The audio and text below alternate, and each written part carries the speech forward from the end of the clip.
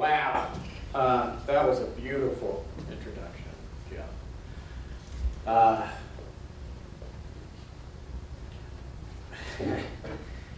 I have a heavy heart today. And for reasons that uh, I will share with you. Um, but I want us to think about how beautiful it is today. And that this could be the day that we decide to change the world. I just visited the Grand Canyon for the first time. It's a funny thing, the Grand Canyon. You encounter the real world on a scale that is simply not available to us anywhere else. The Grand Canyon is what Kant called the space of the sublime. It's where you encounter something bigger than you can think. And it's in that encounter that we become human. In the encounter with something bigger than ourselves. So, what Jeff didn't tell you is that I have a long history with suicide. And so I was drawn to the Tyler Clementi story because uh, when I was a freshman in college, uh, there was a woman in all of my classes. And one night she asked me to go out for drinks with her. Uh, but I was a very abstemious young man at that point. And I said I had. So I told her I had to go study like a good student. And she went back to her room and killed herself. Now, when people commit suicide, they leave a lasting lesson for those of us who survive. Why did I write about Tyler Clementi? Uh, because I know Tyler has influenced people in ways people don't even know yet. Tyler will be with many of the students here for the rest of their lives. So, how do we honor that?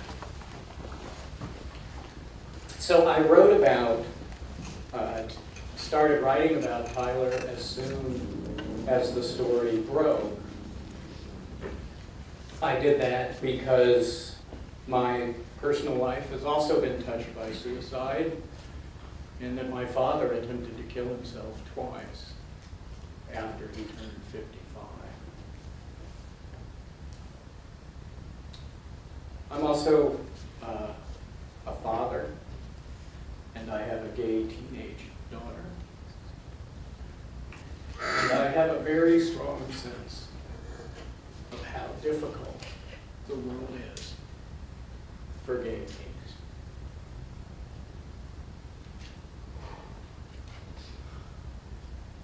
As I studied the story of what happened in the few short hours between Tyler's discovery that he had been spied on and his trip to the Washington Bridge. One of the facts that stuck out to me the most from this event was that in these tweets that went out about this event, there were 148 followers. And not one of them said no. Not one of them said stop. And when the trial came and I followed it in the news, I came to see that one of those students was a student who had studied with me. Jeff has asked us to think about what makes moral people. But I think it's important for us to continue to believe that the function of higher education is to help produce moral people.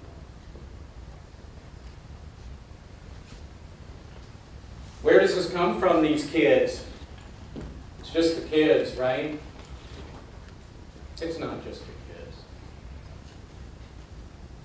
If we ask who are the moral sources in the lives of the young, and we watch the news, we can simply entertain ourselves with who's going to be the person this week who photographed some part of themselves put it on the web thinking nobody would know. What we have done in the effort to simplify this problem is to think about this as a problem with technology. Instead of understanding that we're living through the most significant transformation in human communication in human history. It is the responsible of the wise and the elderly. It is their responsibility to create a world where young people can develop the moral compass that Jeff referred to. How did we get here? And where are we? Because we are not in the world I grew up in. We live at a time when information is super This is unprecedented. People will tell you, oh, it's just a shade of difference. It's a continuity with the past. The internet is just like a bigger uh, Gutenberg press. The people who tell you that are wrong. They are refusing to confront how dramatic the change is that we are living through today. If we do not confront the reality of that problem, then we'll build a center like Jeff talked about. It'll be good for four or five years, it'll have some conferences, and then it will disappear. But this center is founded on the central problem of our time. How will we develop a humane society in the face of the superabundance of information? Information which largely confirms for anyone who wants to look the worst things about humankind. The worst things humans can do to each other is on the web. You can see it. Websites devoted to ex-girlfriends' photos being posted by boyfriends. We'll look at uh, another uh, disturbing thing later in the presentation. But I feel that it's essential for us to think about the university as a place that's committed to making a better world. How do we get there?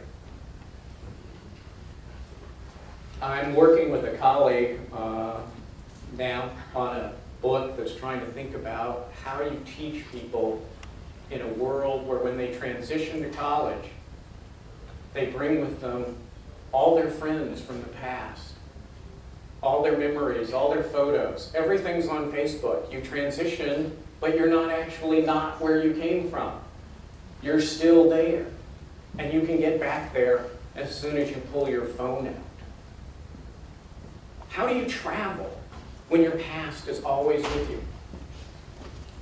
So we've established an assignment in a class in creative nonfiction that begins with the simple prompt that you need to establish that you are interested in something.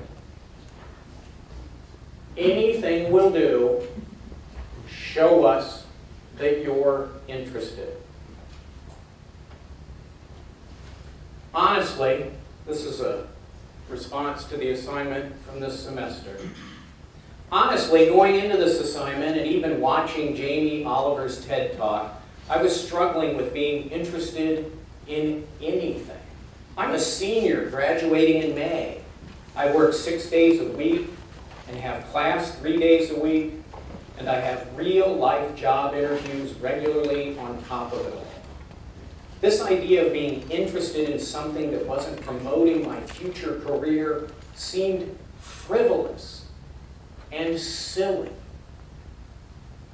Since I started working, it has all been focused on building my resume and securing a good job after I graduate. It wasn't until our professor said to me, you got excited over Michael Pollan, so that could be something.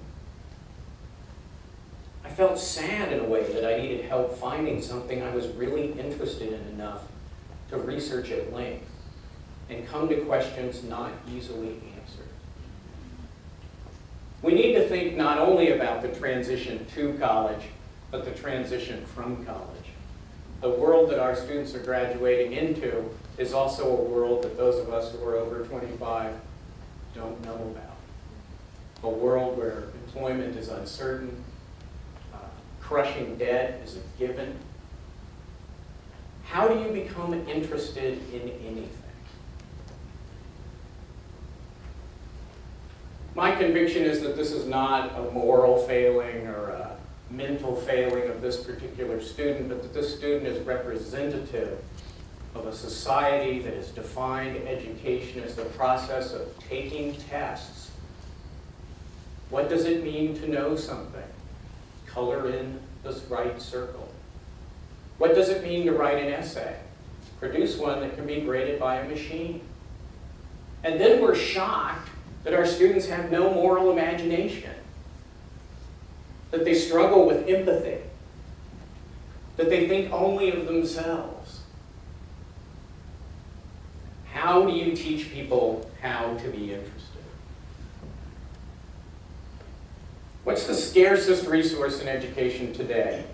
And it's not what you think, even at Rutgers. if we take money off the table, what is it? Hmm? Time. That's a good one. Without time, what you can't do is focus.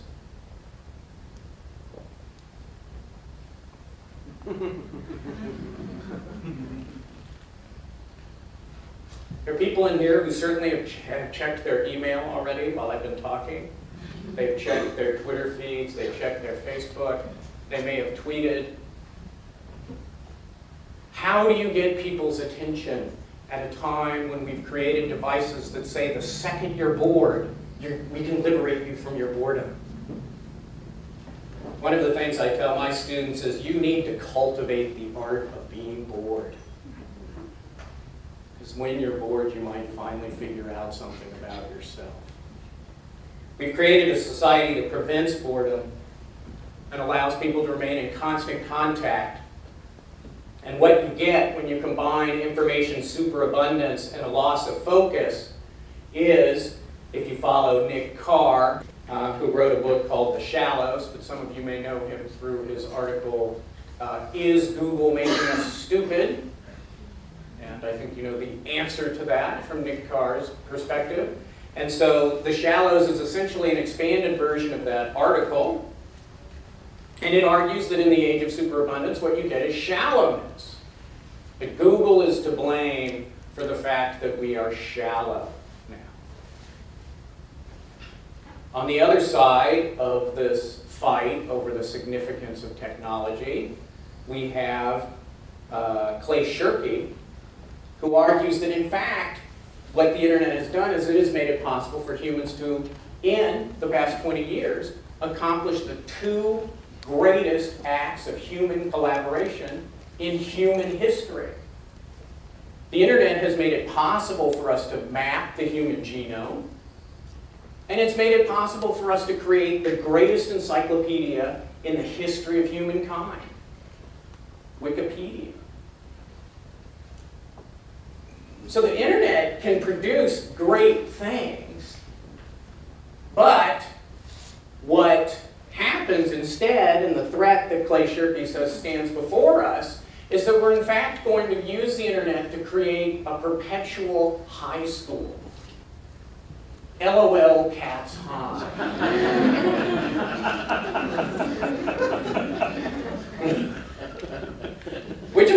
Right? I mean, I love these cats. And people who are friends of mine on Facebook know I put a pope on, a cat pope. I mean, I, I love this stuff. Who doesn't? It's hilarious. But when the central discourse, the main discourse, the dominant discourse of the internet is humor and parody, are we providing a mental culture that makes it possible for people to become beings? To become creative beings, to willingly engage with the problems of our time, which are bigger than any one of us can conceive and bigger than any one of us, or one school, or one department, or one nation can solve. How do we get beyond LOL cats high? How did we get here? I will give you a very simple way of understanding the magnitude of this paradigm shift. I invite you to think about it in the days to come because it is too easy to dismiss the significance of this change. The shift from a paper-based culture to a screen-based culture has changed the very nature of human culture. Everything about what it means to be a thinker and a writer in the academy has been changed by the internet. When I wrote my book, one uh, that Jeff had such nice things to say about, it took me six years to write it, a year for it to be published, six years for it to be reviewed once, two years for it to end up in Amazon's used section for a dollar forty-seven. Never used, never opened. This is the story of academic production. Slow and not centrally significant. We have an opportunity at the university to dramatically change quality of intellectual life, not only in our country, but globally. But it will take courage. And courage is something that's uh, lacking nationally on issues of education. The two um, areas I want you to think about in particular for today is that when information was scarce, when it was paper-based, you had to go to a brick and mortar institution. You had to physically be there because that's where the books were. That's where the professors were. And what you got there was content. The content was only available at that place. Now, information is absolutely ubiquitous. Is the best Shakespeare scholar? It could be in this room. We have a very good one. But the best Shakespeare scholar is no longer a person. I learned this when my daughter was doing her uh, Shakespeare work in 10th grade, and she had to do a soliloquy, and she fell a little bit behind, and she did what kids are doing now when they fall behind. She needed some help with her soliloquy, so where did she go? And where did she go on the internet? SparkNotes. SparkNotes, which are fantastic. I don't understand how they produce them. They're incredibly good. They are, they're incredibly good. Where else would you go? YouTube. YouTube, of course, right? Suddenly she's got queued up 10 different versions of this soliloquy. And that's before you even start going into the library. How do you compete with that? You can't. That's why Udacity, that's why MOOCs are happening. The sense that you can organize that information for other people and give it away for free is very, very seductive. But that model itself is built on a misunderstanding of how dramatic the change is that we've gone through. The need we have today is not for experts in content. That is not the need. The need for experts in content was because of paper, because information didn't circulate. Now information is everywhere. What we need are people who are resourceful. People who say, hey, I just got a tweet that was about something that was seriously fucked up. And I'm going to do something about it. That tweet happens every day. Think of Steubenville. The violence of young people against young people has not stopped in the wake of the atrocity that brings us here today. How are we going to teach people to be resourceful instead of thinking, I need an expert in content, this is really a job for a policeman? How do we get there? We can only get there if we accept this complex, shattering truth. Our students live in a different world than the one we grew up in. And it's our responsibility to learn how to teach in that new world. Nine years ago, the following online ventures did not exist, and I use nine years for a very particular reason. Nine years is the time it takes to get an average time it takes to get a PhD in the humanities. So people are finishing up right now who started dissertations when the most significant forms of publication of the 21st century did not exist. How can those dissertations be in communication with the present moment? How can they be prepared to teach the students we have today? TED, of all of these, I think has the most important quick bumper sticker solution for all of us to imagine as we go back and think about how we're going to teach, how we're going to advise students, and how, as students, we're going to pursue our education. I tell all my students, look, 300 uh, English majors graduate from Rutgers every year. 300. How are you going to distinguish yourself from those 300 people? When it was a question of content, the degree itself opened doors. We are at a time now where what opens doors is your resourcefulness, your competencies. So you should graduate with an idea worth sharing. Do you have an idea worth sharing. The emphasis at TED is on sharing, it's not on selling. It's not do you have an idea that can get you a million dollars. Because the beauty of the internet in its most utopian, ideal form is that it embraces the human desire for community through free exchange. The university should stand for that. And most frequently, we stand against it. Nine years ago, none of the following gizmos. Imagine no iPhone, no streaming video, no Kindle, no Google Books.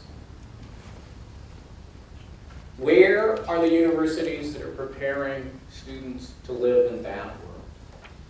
To write those books. When I started in this business, I was drawn to it because of my love of writing. And my love of books, I grew up in a house that was overrun with books. I wanted to grow up and write books.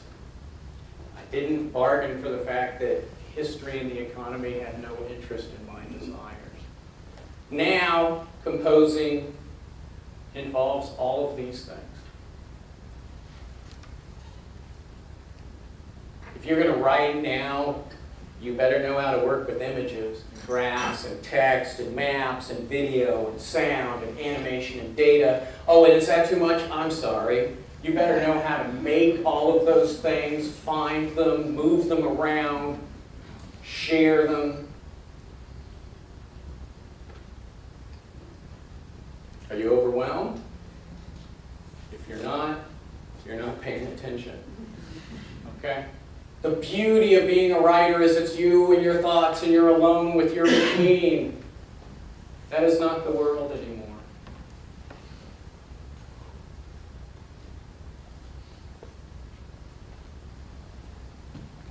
So as a writing teacher, that's why uh, I'm here. I'm interested in the way in which writing, properly understood, is a technology for making meaning of the world. It's not a technology for proving you did the reading. How do you make sense of the world? What will books look like nine years from now?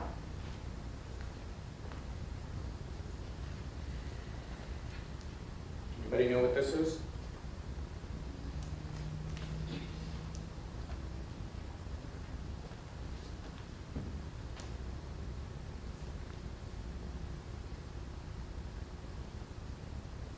It's the most amazing book humans have ever produced. And you could have it right now for $3.99 on your smartphone. Delivered to you right now. Uh, I didn't realize what this image was of in this, uh, in the opening chapter. This is a book by Al Gore that's trying to teach us how to think about the effects of global warming, one of those huge problems that doesn't respond to how many followers you have on Twitter. I've taught this a lot, and then I just gave a talk out in Vegas this weekend, and as the plane was coming in, I was like, oh my God, there it is. That's what this is a picture of.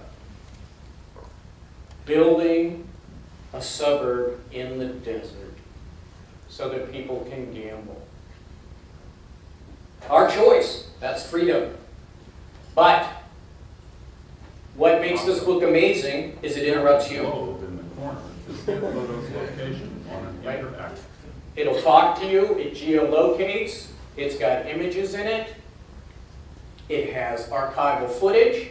You can listen to Jimmy Carter say in the 70s that we're at a fork in the road, and if we go down one fork, we will have an energy secure future, and if we go down the other, we will be endangering our children and our children's children.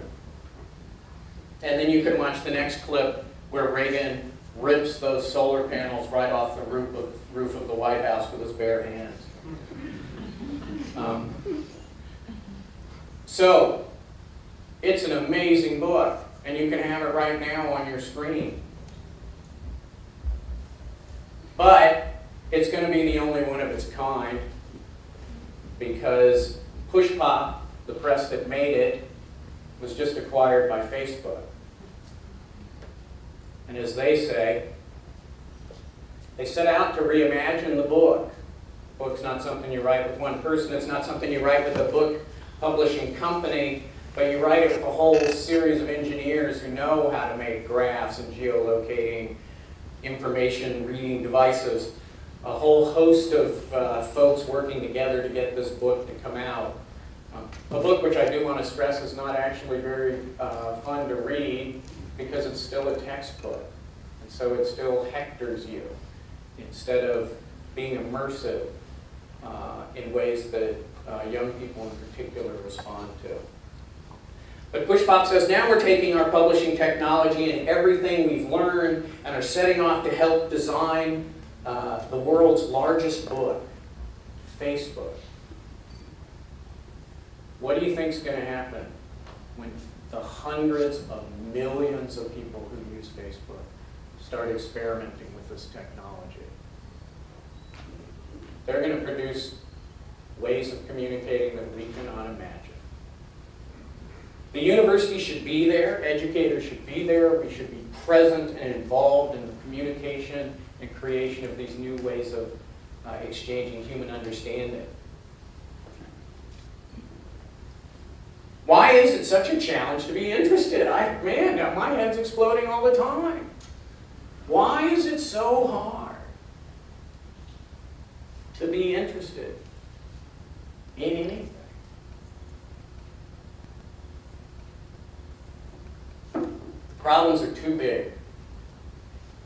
Global warming, global economic collapse, global war on terror, internet hopelessness.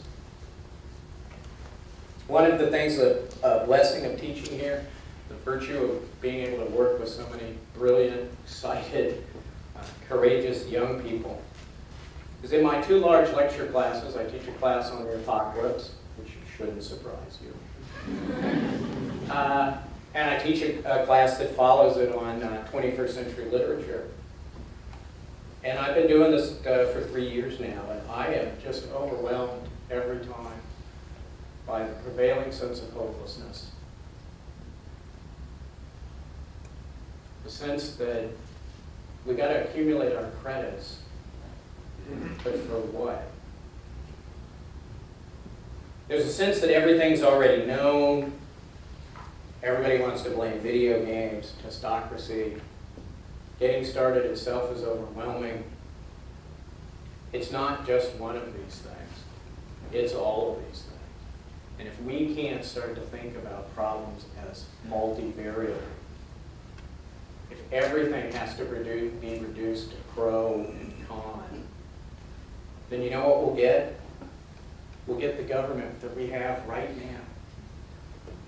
Incapable of compromise, incapable of understanding problems, incapable of making a better world, but certainly certain of what they're certain of. The university should be providing a model for how we get out of this. The model that I think we need to embrace is that being interested takes practice. It's not a natural skill. That's why you go to school, because we all naturally turn away from our own ignorance. No one likes being shown that they don't know things. That's what teachers are for. Being curious takes practice.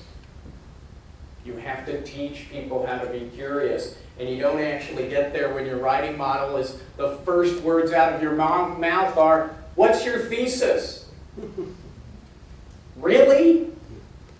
Let's begin by knowing and then finding the information we pour into it. Can we be surprised at the low quality of our intellectual discussions when that is our model for human understanding? Understanding begins in curiosity, it does not begin in certainty. Being creative takes practice. The university should be a sacred place that advocates and protects that practice. And what we should be cultivating are the habits of the creative mind. Malcolm Gladwell has famously argued, or said the obvious, depending on what your take on Mr. Gladwell is, uh, that any, it takes 10,000 hours to become an expert at anything. I've watched my kids go through the public school system, and they've spent a lot of hours preparing for tests. But they have not spent a lot of hours in school practicing being creative.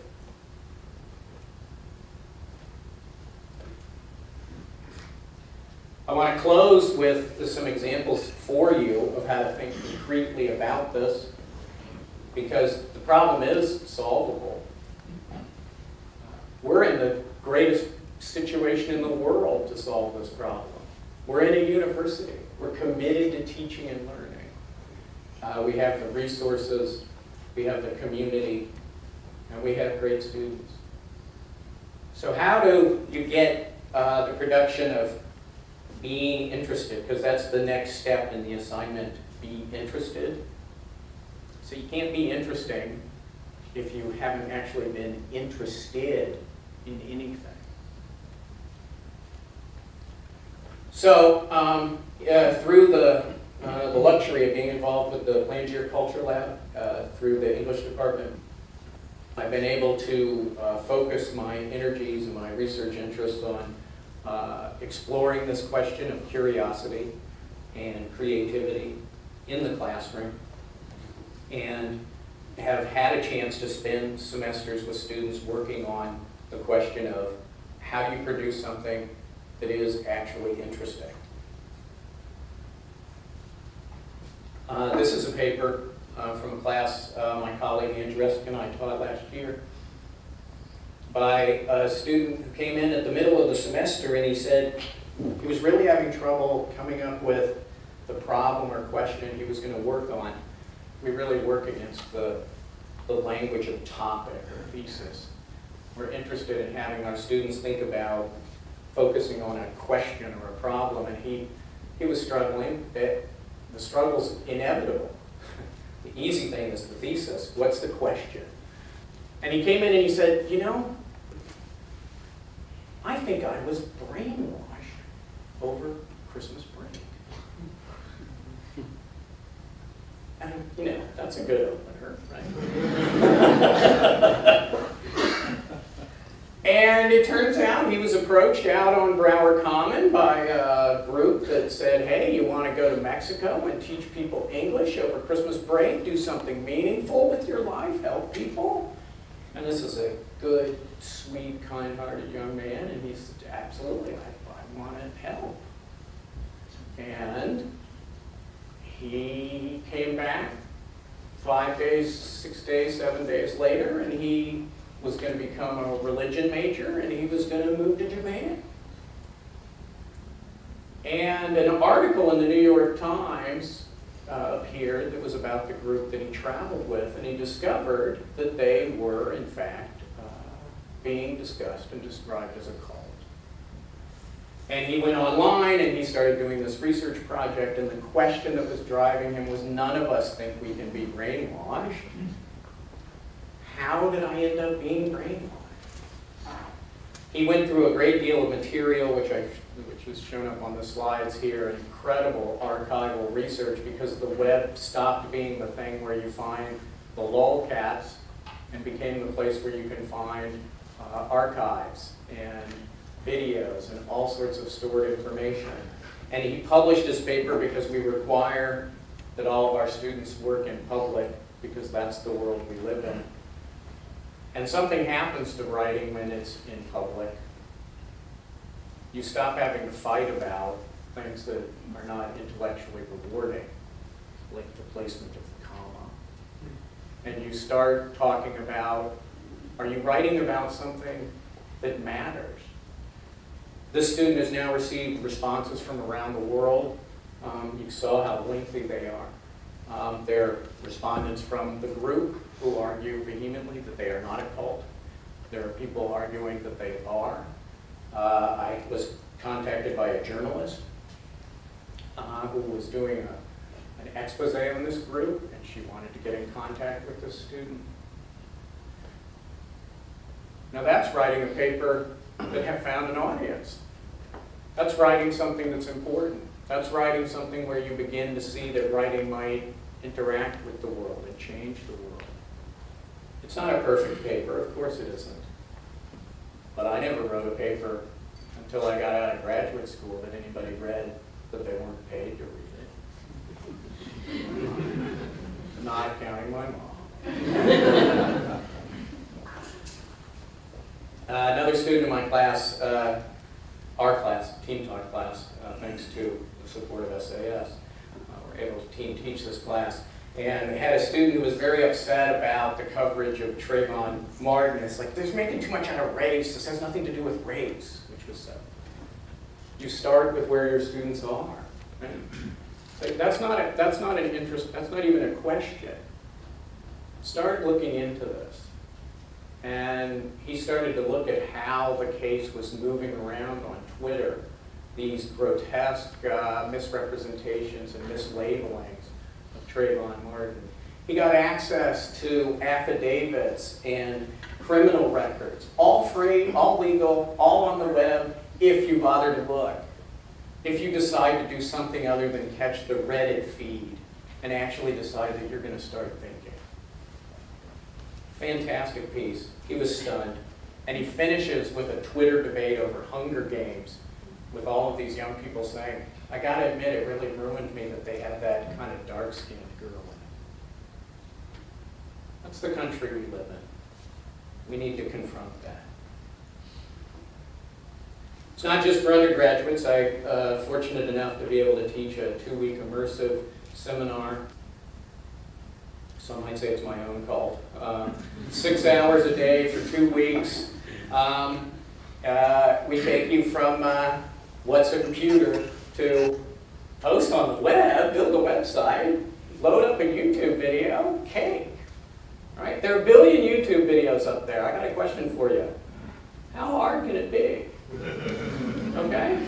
So we gotta find a way to bump people over this sense that I don't want to live in the world that isn't the world of paper anymore, and begin to live and work and thrive and create the thing that does not yet exist on the web, which is a vibrant intellectual culture that's driven by a desire to solve the problems of the 21st century.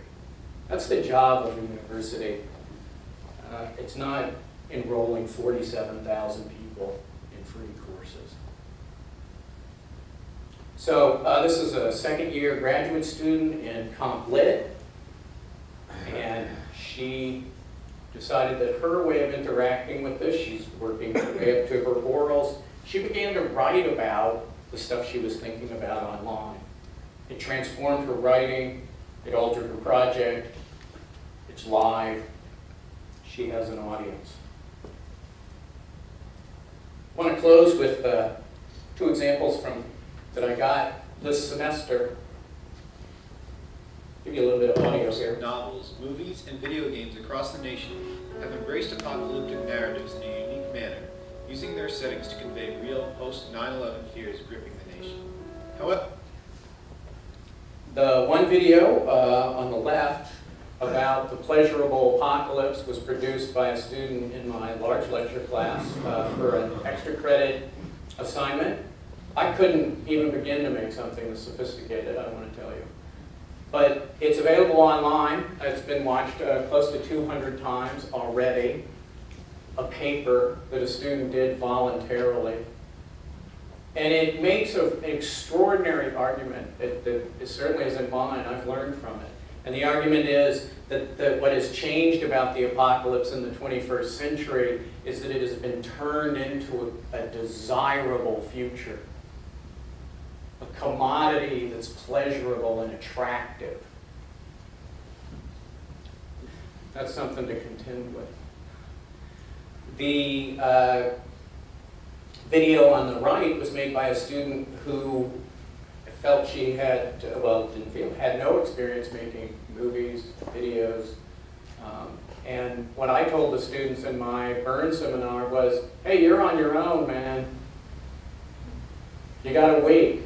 There are a billion videos out there. I think you can do it.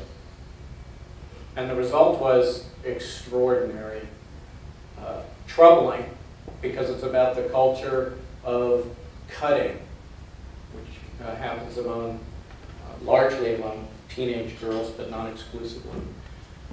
The images are very disturbing, and it's protected.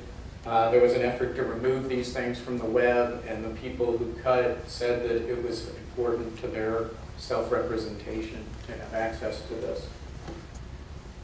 What's striking to me is that right now it's unusual to get work of this caliber.